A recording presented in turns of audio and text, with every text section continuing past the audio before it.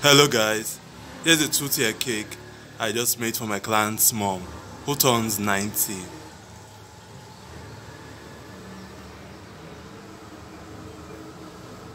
Happy birthday mama.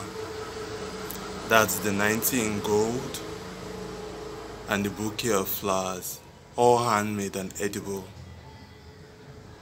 Hope you like it. Please subscribe. Cheers.